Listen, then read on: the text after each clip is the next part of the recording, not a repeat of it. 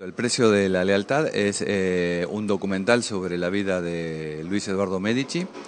Luis Eduardo Medici era un suboficial de la Fuerza Aérea Argentina que eh, comenzó con los principios de la Fuerza Aérea como instructor de vuelo.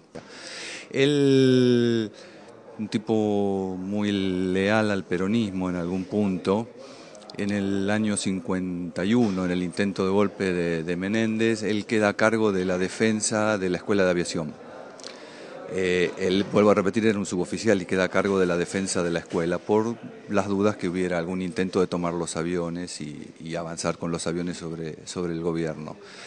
Eso le merece que en 1953 Perón lo convoca un 17 de octubre a la Plaza de Mayo y lo condecora con un acto especial donde lo menciona y, y remarca todas las virtudes que había tenido Medici y ahí Medici toca casi su, su, punto de gloria máximo y en el 55 comienza a padecer persecuciones, cárcel, tortura, se queda sin trabajo, lo tienen detenido en Chamical durante dos años, eh, tiene que comenzar a trabajar nuevamente como fumigador, eh, comienza otra vez como instructor. De vuelta, una serie de padecimientos hasta que, bueno, luego también le aplican el plan Conintes, con lo cual vuelve a desaparecer, vuelve a ser torturado, vuelve a ser...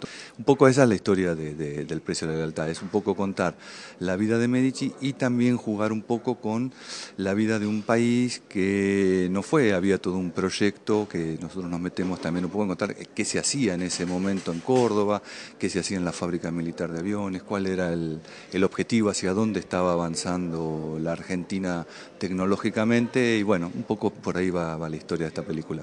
Y pasó lo mismo, me parece, con gran parte de un grupo de, de, de, personas muy importantes que formaron parte de la resistencia peronista en aquella época y que fueron quedando olvidados y por lo menos por las entrevistas que fuimos haciendo y en alguna parte algunos hasta están un poco dolidos porque su historia nunca salió a, conocerse.